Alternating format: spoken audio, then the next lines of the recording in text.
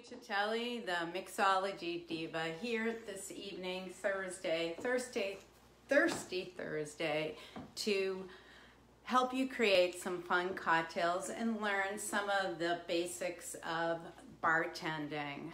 So I always like a good themed cocktail. I don't know if everyone on the live video knows that I am from Salem. I grew up there, so technically I'm a witch. Um, I love Halloween. Um, I have a couple of drinks tonight. One is just, you know, an autumn themed drink. It is a rosemary maple bourbon sour. And the other one is a black cherry Cosmo. It is actually black. Um, so why don't we start with the um, more classic one. Now we've been talking about, this is the third week and we're reviewing some stuff about how to make um, drinks properly. So tonight we're gonna make um, the bourbon sour with bourbon. We talked about bourbon being a whiskey that has 51% corn. It's a little sweeter than blended whiskeys or rye whiskeys. So we also talked about two different shakers. This is a classic um, Boston shaker. And I bet a lot of you at home have the cobbler shaker with the strainer built in.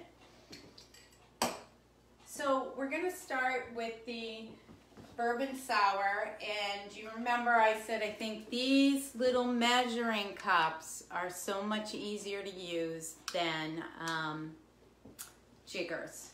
So let's go ahead and start. I'm gonna use my Boston shaker. We're gonna do um, two ounces of the bourbon. Okay, pour that right in. Um, it would help if I had the rosemary out. Alrighty.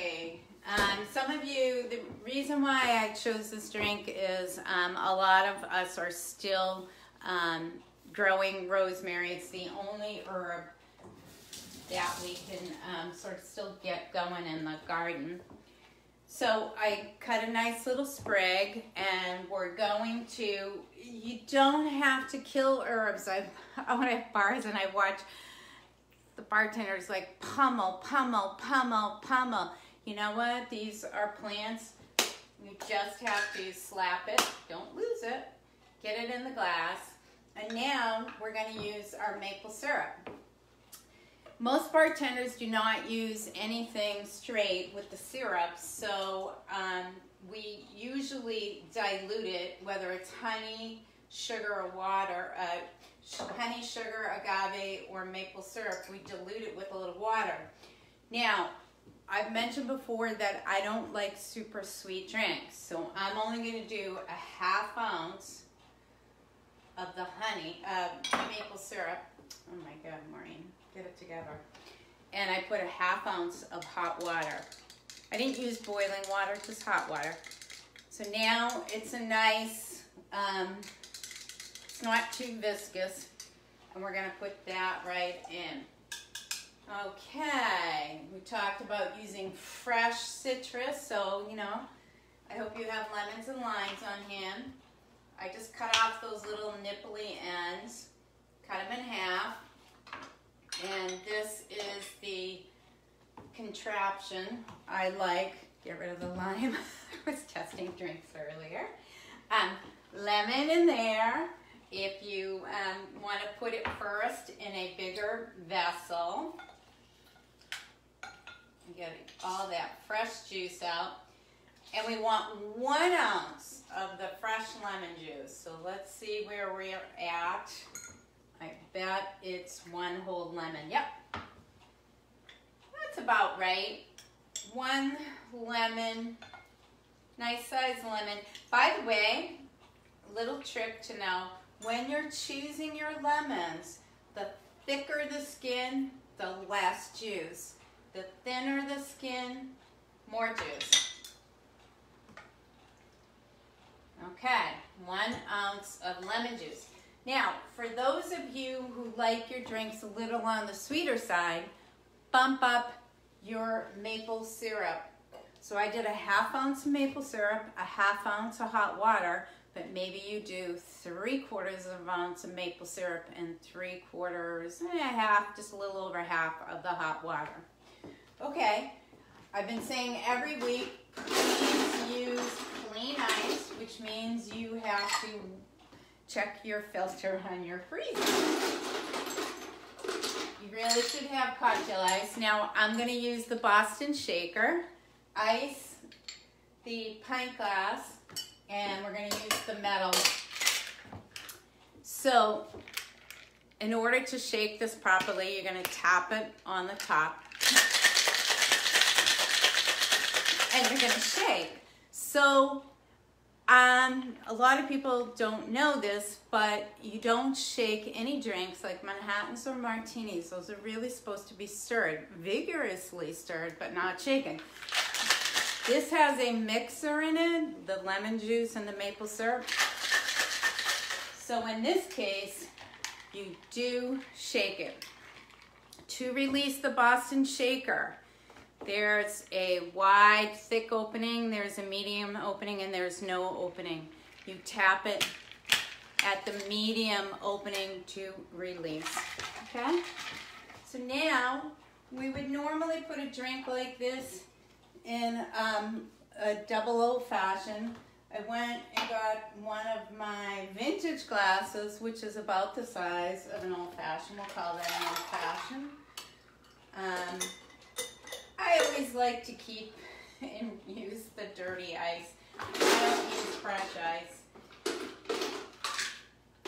But I am going to add a little more ice. And what you can do with that rosemary sprig is use it as a garnish. And I did have a little stir. I have too many things on my bar. Oh, here it is. I have these vintage glass stirrers, straws. So isn't that a pretty drink? Let me see how it tastes for you. Mmm. That is good. All right, drink one. Now we're down to drink two. Always wash your um, barware between drinks. So give me one second while I do that. Clean the shakers. the one to drink two. Alright. Now, in order to make the black Cosmo, cherry Cosmo, I'm going to warn you. it's a little bit messy. So I have done this a number of years in a row, and what we're gonna do is we're gonna dye some vodka black. Um, I shouldn't have got my hand for it. Uh, so, where I get the black food coloring, a lot of you people who are crafters will probably um, recognize it's um, from, I think, Michael's craft store. Um, it's in the cake decorating aisle. It's called Wilton um, Food Dye. So we're gonna, you know, I'm just gonna pour enough for one drink. You might be making drinks for you, a friend, a spouse, family.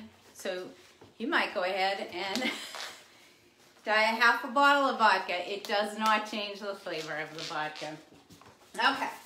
So I can't remember if my spoon fits in. Oh, it doesn't. Okay, my rosemary. So let me see. How did I used to get this out? I think I used a straw. Um, there we go. I'm gonna need next year to order some more. First, when you put stuff in, it just um, you know, it's turning like blue, but the more you put in, the darker. Okay. Can you guys see that? Look at my black vodka. I, I know it's hard when I have it on a black cloth. All right. Wilton Black food coloring um, in the cake decorating aisle. And it looks like that. Okay? Um, all right, so I can do the other thing while you're there, and this can be really fun. All right, one glove gone, both gloves gone. Is to get also this pearl dust, which we'll put in the drink at the end, okay? Uh, so we'll get our shaker ready, and we're going to do, I think I can get rid of this straw and this thing. Yeah, now be very careful of this stuff because it's black food coloring. All right, washing hands. So we're gonna go back. So Cosmo is normally citrus vodka, Cointreau, or triple sec, fresh lime juice, and um, a couple of splashes of cranberry juice. But in this case, we're going to do, I need my clear one. Do one and a half ounces of the black vodka, okay? That looks so cool, doesn't it? We're gonna do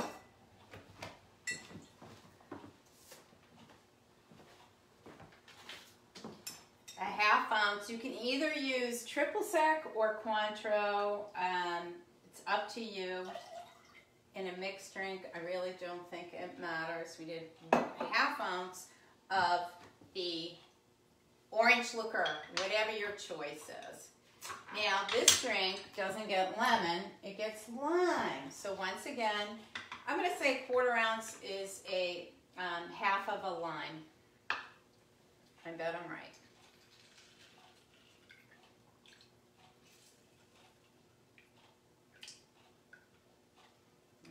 Despite my best efforts, I still have black dye in my hands.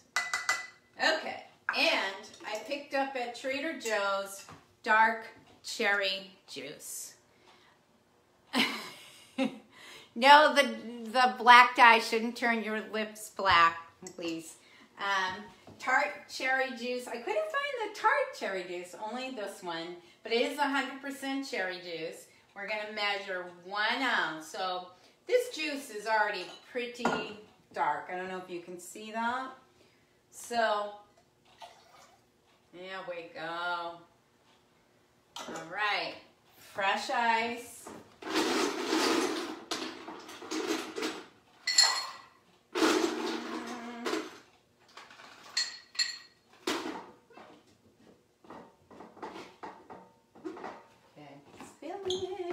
All right. We're gonna shake this one in the Boston shaker because it does have some juice. Now, you can go with either a um, traditional cocktail glass or as I really like is this these vintage coupes. I really want um, to so you can see it. So I'm gonna go with the clear instead of this sort of amber cocktail glass. All right, we're going to use our strainer. We call this the Hawthorne strainer. Remember, we also have the julep strainer, but this is really for like Manhattans and martinis. Okay. I think to really make this ta-da, I need this black thing to go away. So we've got our coupe. Oh my goodness. Okay, now, let's get our little pearl dust. One ounce, one ounce of the dark cherry juice. You know what I was thinking? I was thinking of printing up a, a an easy ebook with all the drink recipes that I go over. So we have our our pearl dust. Okay. All right. Mm-hmm. I don't know if you can see that.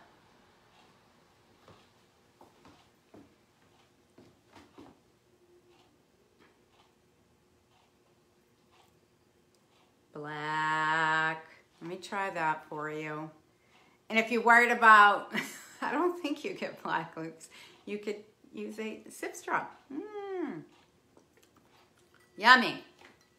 Oh, it's really good. It's it's not super sweet because it's made with the cherry juice and um, the fresh lime juice. So you're going to hear me say again and again and again, the more fresh ingredients you use, so don't go get, you know, flavored this or flavored that.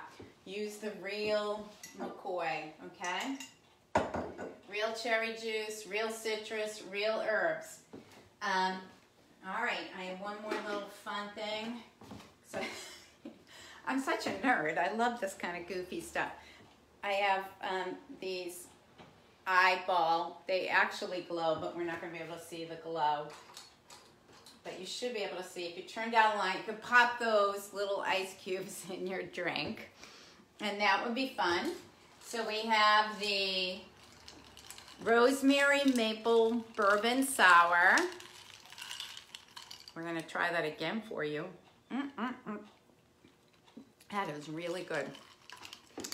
It's um, citrusy. Now, I want to tell all of you people who are like, oh, I don't drink whiskeys. Those are like weird, you know, they've got color.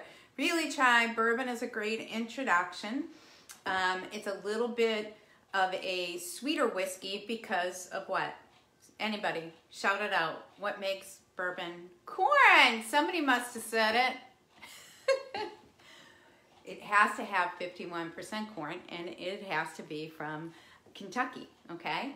So having a drink like this, my goodness, fresh lemon, maple, rosemary, there's no way you're not gonna like this. So there it is with the eyeball, but if it were dark, it'd even um, look better. Um, by the way, a few of you have reached out to me, and thank you, thank you so much. Um, some of you want to send a gratuity, much appreciated. And um, yes, my Venmo is at Maureen dash Nuccitelli. One of my sisters will spell it for you. Yes, it's the long Italian last name. And I wish you could see this but it's black with all this iridescent pearl dust. And I'll try this again for you too, just to make sure. Mm. Mm. I think you would like this. I really do. Um, so now, of course, I'm going to have to consume all this because I have leftover black vodka. So I hope everyone knows you can, um, I don't know if they have it in stock, but call them first. This is at craft store.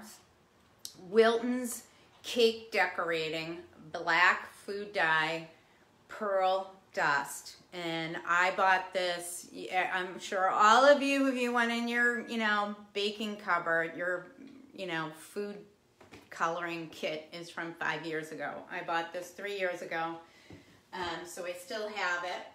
The other thing I've pointed out before is these squeezy bottles are really great to use. Say you're making a whole bunch of fresh drinks and, you know, you don't want to like sit there and painstakingly slow down and squeeze each citrus to order. You can squeeze up a bunch of juice to begin with. I use these squeezy bottles and I love this labeling system that I got from the container store called Label Once. You put a label, one is a pen and one is a eraser. And I have them on some of my Pyrex, on, you know, these squeezy bottles because I um, used to do private parties. This one, you know, is gone through the dishwasher. The label never comes off. You just erase it and label and date any syrups you make, any juices, any concoctions. And the system could also, oh, thank you, Marion, um, can also be used for your food. So I think a lot of you know that I'm a professional organizer and I try to help people be organized even in their refrigerator. So I always tell people on trash night, go through the fridge and throw it out. But so often people would say to me, I don't know how old that is. Well, if you have your Pyrex dishes, of course the one that I pull out doesn't have a label. If you had all your Pyrex with that labeling, you could put the whatever it is and the date on it and also in the freezer. I really hope you guys, um, I'm trying to look at questions. you love the eyeball and the drink. I was thinking of you, Lise, when I got those. Um, I, you might have even gotten them for me. I don't know. I can't remember. Very fun. Um, I do miss being behind the bar. You know, people knew wherever I worked, I was such a nerd at any holiday. Like I, at Halloween, I would load up the bar with candy I'd bring in the goofy eyeballs. I'd always make that black Cosmo. I do all sorts of fun, goofy things, and um, we had a blast at every holiday. I need no excuse to celebrate. I love it all. I even, you know, got out my silly bar towels and I decorated my mantel I hope you guys, um, you know, post questions, post um, suggestions, post queries, because then I know what to do for next week. And um, we're going to continue with some fall themed drinks. And then, of course, when we get to the holidays, look out. I hope these have been helpful. Learning the correct barware, how to measure, what to do, how to think about things. Um, and next week, I don't know what I'm going to come up with next, but if you have some like weird liquors and liquors, hey, what do I do with that? You know, post right now and I'll try to come up with um, a drink. Meanwhile, I'm hoping, all right, I told you I was a witch, so you're not going to be surprised when I do this. I think least you'll remember this hot. All right, I hope I can do this correctly. All right. So where's my silly drink? And I just want to say all, to all of you, I know um, things are a little different these days, but I try to maintain any continuity that I can. So I just want to say happy Halloween to all of you. Here's looking at you. And I hope you have a rocking good night. And I hope you come up with some fun cocktails. Maybe one of these that I made tonight. Okay? Happy Halloween, everybody. See you next week. Cheers.